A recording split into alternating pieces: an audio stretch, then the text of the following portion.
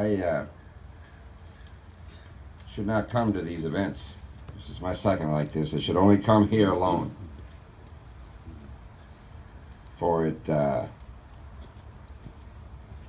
has become for me maybe the most powerful uh, place in uh, Salem, the state of Oregon.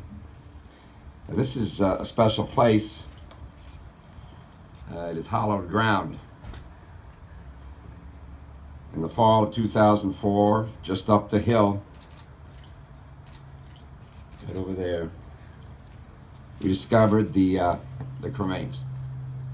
No one who was with me there today is with me here now. These copper canisters are on the grounds of the Oregon State Hospital in a locked storage room and shelves in a locked room. In a room that I would call a forgotten souls.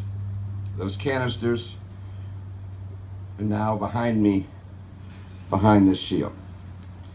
More than 3,600 Oregonians who died at the Oregon State Hospital and other institutions have been cremated and they have been forgotten. That discovery and those forgotten souls led to a renaissance, literally a renaissance in mental health care here in the great state of Oregon, my Oregon.